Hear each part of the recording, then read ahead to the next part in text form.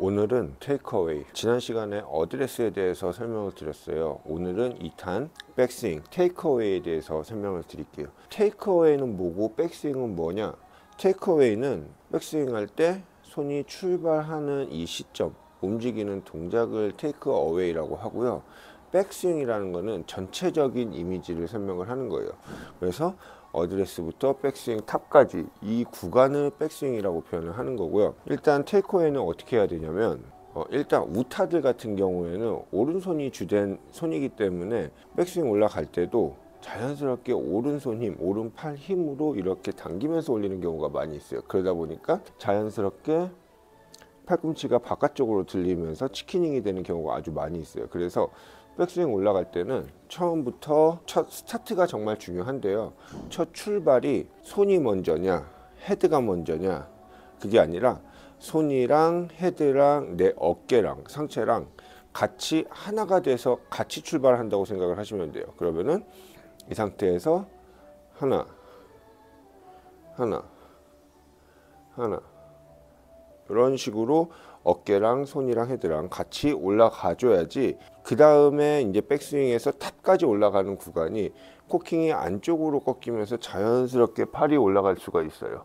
안 그러면은 만약에 손부터 올라간다 그러면은 어깨는 그대로 고정되는 상태에서 팔이 먼저 올라가기 때문에 혹은 이런 식으로 당겨지기 때문에 어깨 위치가 아무리 올라가도 내 시선 머리보다 왼쪽에 와 있어요 내 머리보다 왼쪽에 가 있어요. 왼쪽 어깨 위치가.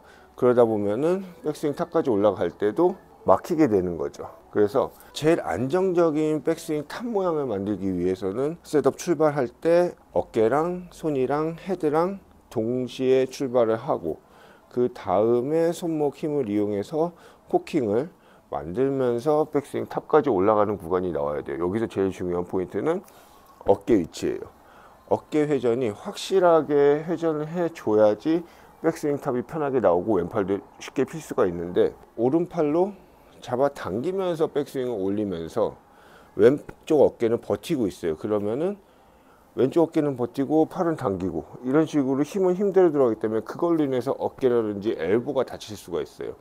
우리 엘보 많이 아프잖아요. 엘보가 바닥을 때리면서 충격이 가서 아플 수도 있지만 제 경험상 백스윙 탑에서 오른손으로 심하게 잡아당기는데 왼팔은 펴야 되니까 자꾸 바깥쪽으로 힘을 주게 돼요.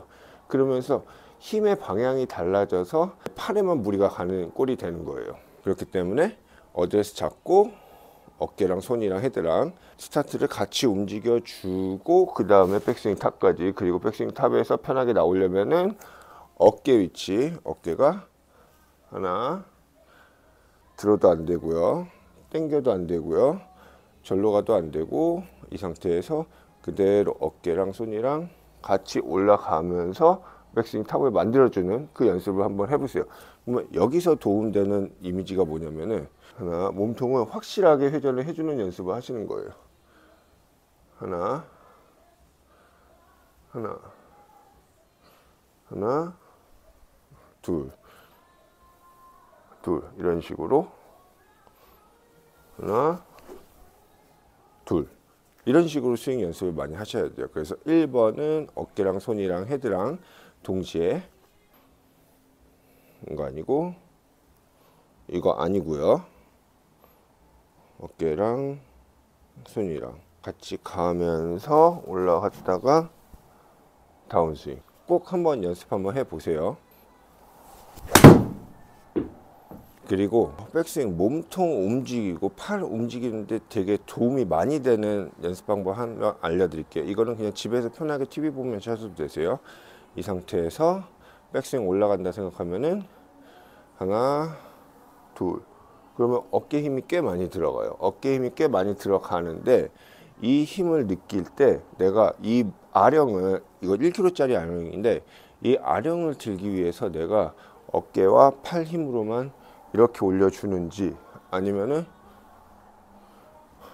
팔을 몸에 붙여놓고 몸으로 올려주는지 이러면서 배치기라든지 reverse pivot이 많이 생기거든요. 그렇기 때문에 처음에 돌고 올리고 내리면서 다시 올려주고 돌고 올리고 내리고 올려주고 팔을 위 아래로 몸하고 분리시켜서 움직이는 연습을 많이 하셔야 돼요.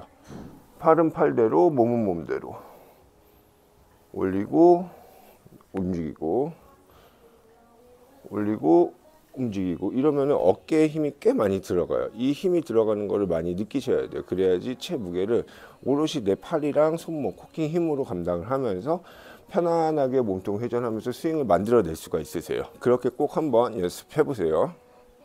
하나,